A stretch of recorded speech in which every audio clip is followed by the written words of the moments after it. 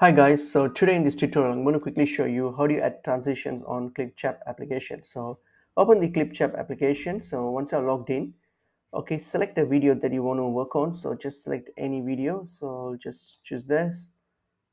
Okay, so and then drag it down to your timeline. All right, so if you want to add transitions, you need two or more clips. So I don't have mm, another clip, so I'll just cut this clip and make it into two all right so i'll just let me cut that. All right so that i have two clips. All right so now that i have two clips now i can make the transitions so i'm just going to zoom that in a bit.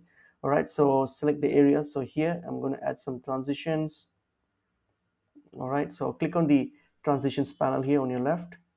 Click on it. So here what are you going to do? So i'm going to choose any transaction here i mean transition here. Choose and then click and drop it and that's it. And you can set the trans uh, the duration of the of the uh, transition here. And that's pretty much it is. Hope this video is helpful to you guys. I'll see you guys in another video soon